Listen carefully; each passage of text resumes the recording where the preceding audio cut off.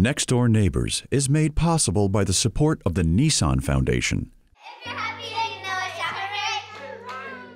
I had a lot of variety growing up different religions, different cultures, different languages. I feel like I got to experience a lot at a young age. Amira was born in Murfreesboro, Tennessee, and raised by an American mother and a Syrian born father. Though her parents divorced when she was very young, she spent lots of time with both mom and dad, exposing her to both cultures. My mom is Christian and my dad Muslim, and I think that there were big differences, but then there were a lot of things that they had in common. And at the end of the day, everybody just respected everyone. I mean, I remember going to church on Sunday and then, you know, going to the mosque on a Friday and just thinking, wow, you know, everybody sort of wants the same things. Belief in a higher being and a higher power and this accountability um, for how you treat people and your actions.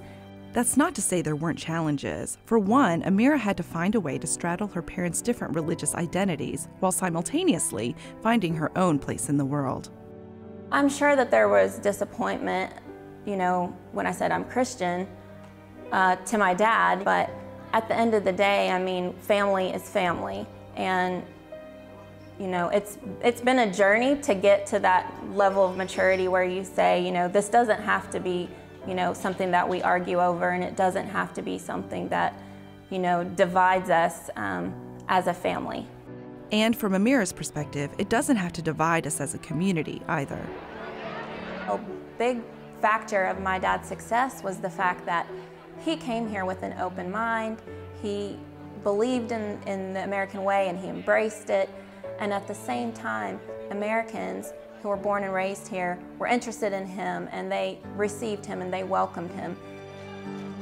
Christians and Muslims, I think, have so much in common that they don't really know they have in common if they don't sit down and talk to each other.